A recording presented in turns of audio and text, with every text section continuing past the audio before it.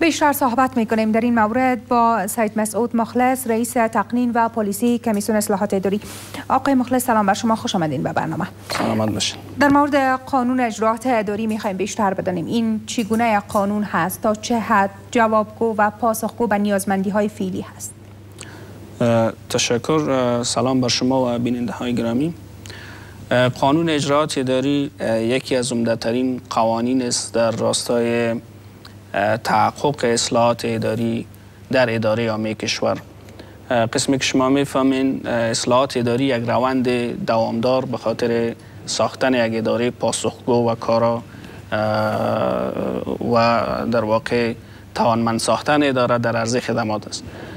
قانون اجراات اداری در واقع قانون است که رابطه اداره را با شهروندان تنظیم می‌کنه یعنی این خلای قانون احساس می‌شد این به این مفهوم نیست که قبلا این رابطه وجود نداشته. یعنی شهروندان با ادارات عامه و دلیل یا فلسفی وجودی ادارات عامه همی است که عرضه خدمات به صورت درست شود لکن این رویه به شکل نامنظم و غیر در واقع اصولی بوده تا یک اندازه. به می دلیل کمیسیون اصلاحات اداری و خدمات ملکی طرح قانون اجراات اداری را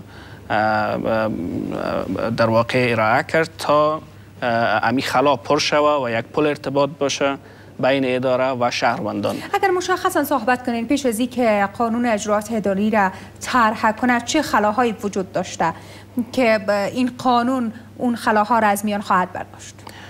ببینین قانون اجراات اداری قسمی که شما هم گفتین در نبود ازی می‌تونست اداره به مطالبات شهروندان پاسخ ارائه کنه اما در حالاتی که قوانین و اصول و در واقع قواعدی که اداره را ملزم و مکلف به اداره خدمات نمی سازه یک نوع خودکامگی و خودسری در اجراعات اداره بروز می‌کنه و در واقع ادارات یک نوع صلاحیت تخیری یا اختیاری را به دوش می داشته باشن و پاس، میزان پاسخگویی خیلی پایین می باشه در کشورهایی که قانون اجراعات اداری وضع شده یک سلسله مکلفیت ها به اداره گذاشته شده و همچنان بعضی حقوق برای شهروندان در واقع در نظر گرفته شده. تا زمانی که زمانی که شهروندان ارتباط می‌گیرند با اداره اداره مکلفیت های خود را بدانه و شهروندان هم از حقوق خود مطلع باشند که اداره که امروز وجود داره به خاطر ازی وجود داره تا عرضه خدمات به صورت درست منظم صورت بگیره مهمترین نکاتی که از چالش ها در این راستا محسوب میشه و در این قانون برش پرداخته شده چه هست؟ مهمترین مبحث در قانون اجراعاتی داری خود اعمال اداره است یعنی اعمال اداره به دو بخش تقسیم میشه. یکی تصامیم اداری است. هر تصمیمی که اداره اتخاذ می‌کنه در واقع در چارچوب یک اصول باشه. حقوق شهروندان رعایت شود حق استماع حق بیطرفی در واقع مکلفیت بیطرفی بر دولت ممنوعیت تبعیض و یک سلسله اصول دیگه که در این قانون گذاشته شده اداره مکلف است را رعایت کنه. از جانب دیگه اداره باید شفافیت را در نظر داشته باشه. مثلا زمانی که عرضه خدمات می‌کنن مردم باید مطلع باشن که عرضه خدمات در یک زمان معین ارائه میشه و اداره نمی‌تونه بدون جواب باقی بانه در خصوص مطالبات شهروندان. اگر جواب ارائه می‌کنه در وقت معین باید ارائه کنه و اگر نمی‌کنه دلایل مقنع ارائه کنن. یعنی این قانون اداره عامه را در بطن جامعه قرار میده و در واقع اداره که امروز با مذرت اداره که امروز بستای خدمات ملکیش به عنوان یک صلاحیت و تضمین کننده حیات متصدیش می باشد دیگه نخواهد بود بلکه اداره عامه با تطبیق از این قانون یک اداره عامه پاسخگو در واقع کارا و موثر خواهد بود. یعنی مسئولیت پذیری در اینجا بیشتر است نسبت به نسبت به داشتن یک صلاحیت بدون مسئولیت. یکی از موارد که گفته شده حالا تبعیض برخوردهای متفاوت تبعیضات قومی و نژادی این موارد هست. در این قانون در رابطه به تبعیض چه آمده؟ یکی از عمده‌ترین بخش‌های از قانون مبحث اصول اصول عمده است که از جمله یکی عدم تبعیض در ارائه خدمات است.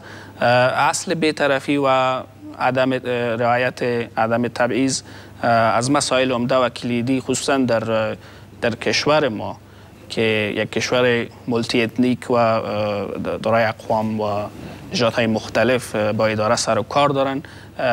این اصل عمده ترین بخشی که در واقع به اون می‌پردازه رفع هر گونه تبعیض است و رعایت طرفی کامل در عرضه خدمات. و در خود قانون میکانیزم های پیش بینی شده در صورتی که شهروندان باز شکایت می داشته باشن می‌تونن به خود اداره مراجعه کنن و این قانون ایره تضمین می‌کنه که اینا به اداره مراجعه می‌کنن اداره مکلف است پاسخ ارائه کنن. به خود اداره نهاده که مراجعه کنن برای دقیقا به اداره که آیا یک بخش ایجاد خواهد شد یا کسی که در ریاست یا مدیریت قرار داره این مورد را بله. بررسی خواهد کرد؟ کاملا. فعلا این قانون قسمه که پیشتر سخنگوی محترم وزارت عدلیه گفتن این قانون فعلا نشر شده نافذ است در یکی دو ماه بعد نافذ میشه تا ختم اواسط سرطان. در قسمت تطبیق از یعنی قانون هر قدر زیبا و درست نوشته شده باشه زمانی که تطبیق نشد حروف بیشتر روی چند کاغذ نیست. بحث عمده و مبحث عمده تطبیق قانون است. در مرحله تطبیق ما پلان هایی در نظر داریم که این قانون را ابتدا به تمام ادارات عامه تفهیم کنیم برنامه های آموزشی برشان در نظر بگیریم که از قانون درست درک درست داشته باشن بعدا میریم به طرف شهروندان.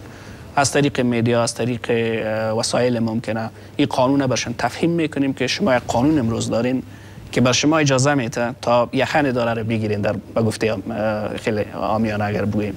که اگر به مطالبات شما پاسخ نمیته این قانون تضمین کننده است. بنابراین ادارات مکلف هستند تمام میکانیزم هایی که در قانون گفته شده برش میکانیزم های عملی در نظر بگیرن. مثلا در اصل شفافیت وقتی که اداره باید شفاف عمل کنه چی باید کنه؟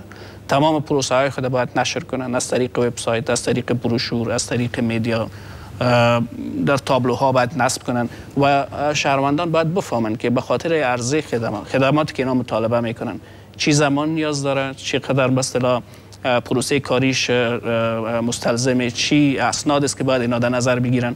بران اینا همش در واقع داره مکلف می‌سازه که تمام راهکارها را در واقع در نظر بگیرن دفاتر معلوماتی بخشای ارتباط در واقع ارتباط با شهروندان اینا.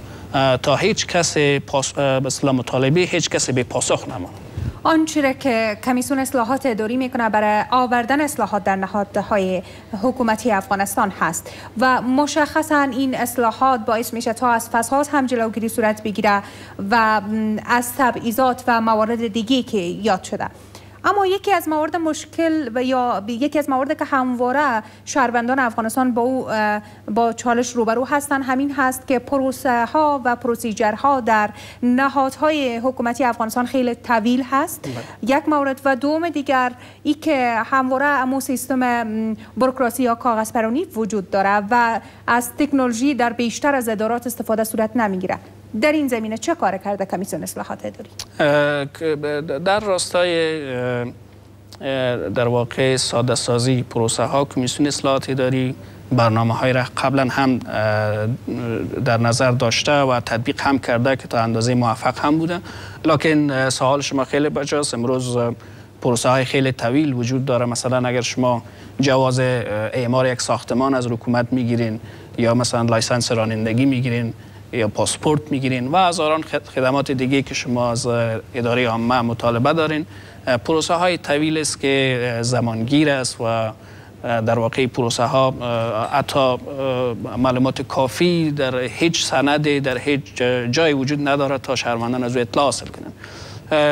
یکی از عمده‌ترین مسائل در اصلاحات اداری امی است که ادارات سیستم اداری ما سیستم فعال باشه.